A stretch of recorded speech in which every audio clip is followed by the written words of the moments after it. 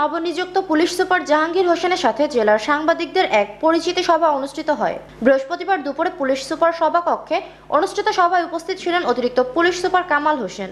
অতিরিক্ত police super সদর circle Abdullah Taher, DI এক হাসান ইমান, সদর ভারপ্রাপ্ত কর্মকর্তা তানভিরুল ইসলাম, ট্রাফিক ইন্সপেক্টর মাসুদ সরকার সহ পুলিশ কর্মকর্তারা জেলার প্রিন্ট ও ইলেকট্রনিক মিডিয়ার সাংবাদিকরা উপস্থিত ছিলেন। উপস্থিত সাংবাদিকদের ধন্যবাদ জানিয়ে সভায় নবাগত পুলিশ সুপার তার দায়িত্ব পালনে সবার সহযোগিতা কামনা করেন।